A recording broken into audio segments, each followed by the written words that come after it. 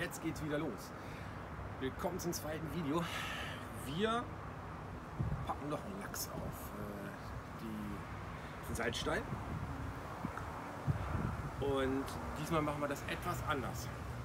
Ich würde ganz gerne noch mal, ich habe zwar im ersten Video schon gesagt, ähm, aber ich wiederhole mich da ganz gerne noch mal was zum Salzstein sagen. Ein Salzstein hat viele, viele Vorteile. Das heißt, er nimmt die Hitze sehr, sehr gut auf und er gibt sie auch sehr, sehr gut wieder ab. Aber man muss auch ein bisschen aufpassen, denn es passiert sehr, sehr leicht, dass beim Aufheizen des Salzsteins das ganze Ding platzt. So.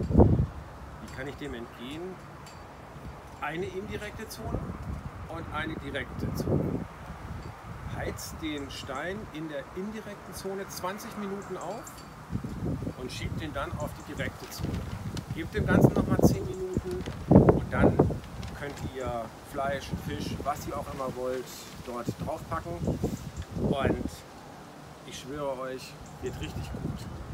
Ähm, ihr habt ein bisschen Salz da dran, lecker essen, ganz, ganz großartige Geschichte, super einfach. Aber wir haben am ersten Video etwas gemerkt und äh, das hat mir nicht ganz so gut gefallen. Denn ich hatte schon mit Peter Zeiter darüber gesprochen. Peter, auch an dieser Stelle nochmal alles Gute und vielen Dank. Er sagte, eventuell reicht dieser Salzgehalt vom Salzstein nicht aus. So, und wir haben Tatsache dann auch vorher nicht mehr Salz dazugegeben und haben das wirklich mal ausprobiert, ob das äh, Tatsache so stimmt. Ja, es stimmt. Es fehlte Tatsache Salz. Der Salzgehalt ist nicht so hoch. So, deswegen haben wir uns was überlegt und werden dem jetzt ein bisschen entgegenwirken. Ich habe auf dem Markt gefunden, für äh, Zitrone, habe ich schon mal ausprobiert. Ist richtig, richtig lecker. Elli, halt mal die Nase drunter. Mm. Und? Ist gut? Mm. Ja. Riecht richtig frisch. So, dann werden wir jetzt Verschiedenes machen. Zum einen, was brauchen wir überhaupt heute? Malabar-Pfeffer, ganz frisch. Eine Bio-Limette und nochmal Tomaten vom Markt. Das sind Honigtomaten. Richtig gut im Geschmack, richtig toll. Kann ich nur empfehlen. So, wir schneiden jetzt den Lachs ein bisschen an. Seid ein bisschen vorsichtig, dass ihr ihn nicht durchschneidet. Das kann sehr schnell passieren. So ungefähr 2 cm bis 1,5 cm.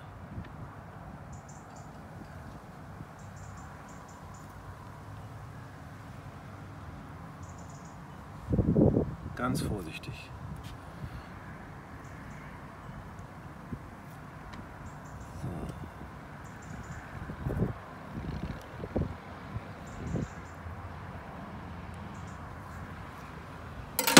Dann werden wir jetzt einfach Fleur de Sel nehmen und werden das hier schon mit aufbringen. Zu, dass ihr, das, ihr seht hier richtig die, die Zitronenstücke hier schon mit drin. Ja? Seht zu, dass ihr das hier richtig in die, in die Lücken hier mit reinpackt, dass das so richtig eingebracht wird.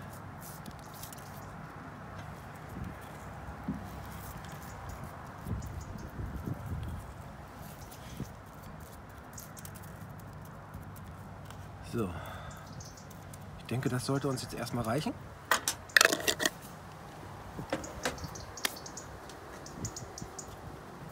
Ganz kurz an die Seite.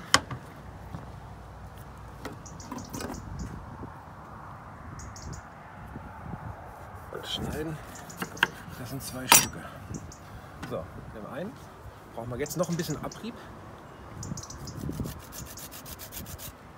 Seht zu, dass ihr das Weiße nicht mitkriegt. Das ist bitter, das wollen wir nicht haben. Nur Tatsache die Schale.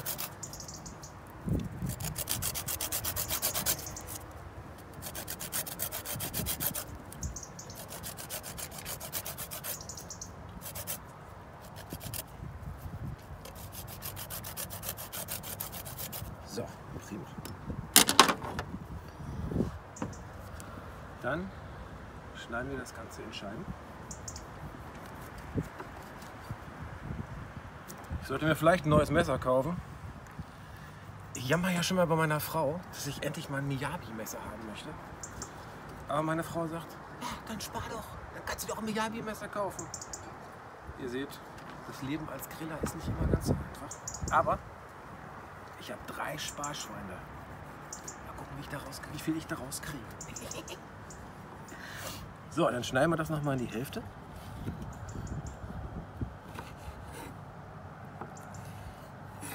Und nehmen diese, die wir eben schon so ein bisschen abgerieben haben, nehmen wir auch noch mit dazu.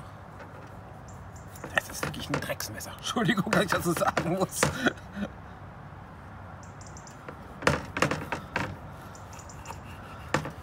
Gott, oh Gott, oh Gott. Wieder ein Fall für die Outtakes. Aber können wir zumindest so schon reinpacken. So, das heißt, die knallen wir so rein. Gottes Willen, Elli. Siehst du, welche Not wir hier haben? Siehst du das? Ja, da brauchst du gar nicht lachen. Wir brauchen dringend ein scharfes Messer. Habe ich dich überzeugt? Nein. ja, ja. So ist das hier. Weihnachten. Echt? Kriege ich einen zu Weihnachten? Das wäre ja super. Ich habe Zeugen, ne? Du weißt das.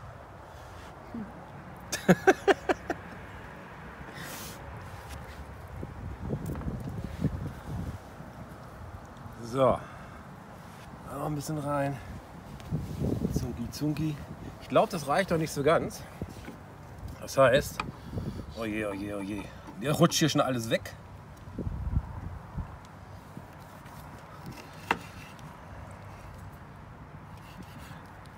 Zack. Das hier auch noch rein. Und das auch noch. So. Machen wir noch ein bisschen Pfeffer drauf.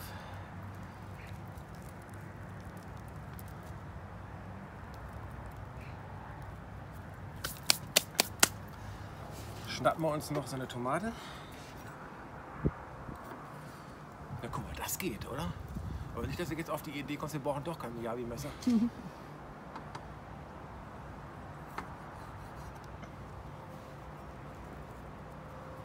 so.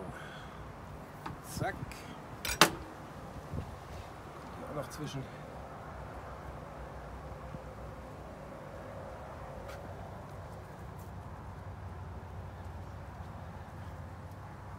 Flash, Boom, Bang. Zack. Und das hauen wir jetzt auf den Salzstein.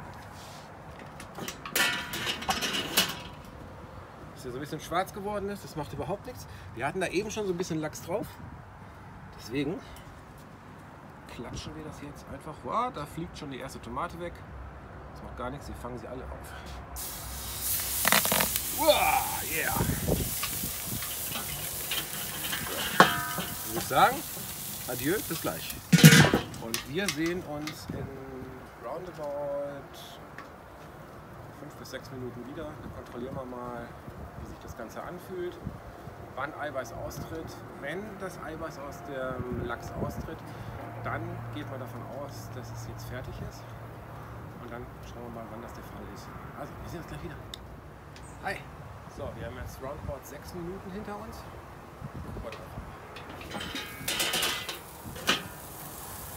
Das sieht doch schon mal ganz gut aus.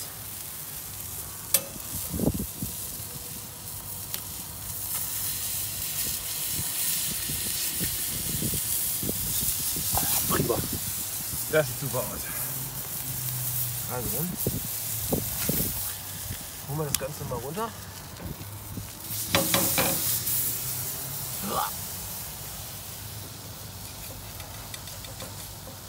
Flupp. Kriegen wir die auch noch mit. Klar. Crash, Boom, Bang. So.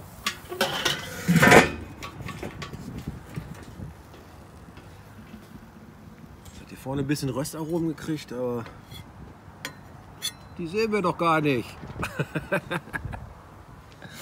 so, was haben wir jetzt vergessen?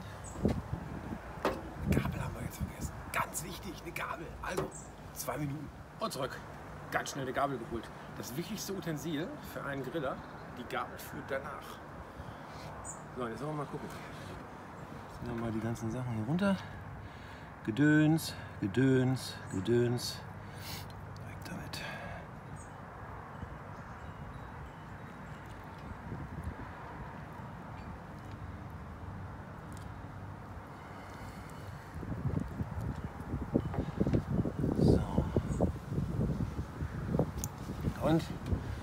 Gucken wir mal. Naja, vorne ist ein bisschen, na, hier hat es ein bisschen viel, viel Tempo gegeben. Naja, glasig ist anders. Das ist Tatsache. Da hätten wir vielleicht, na hier vorne schon, aber hier am Anfang ist ein bisschen schwierig. Gehen wir mal in diesen Bereich hier rein. Gucken wir mal, ja, da geht, da ist perfekt. Das muss man schon sagen. So, jetzt gucken wir mal, wie der Salzgehalt ist.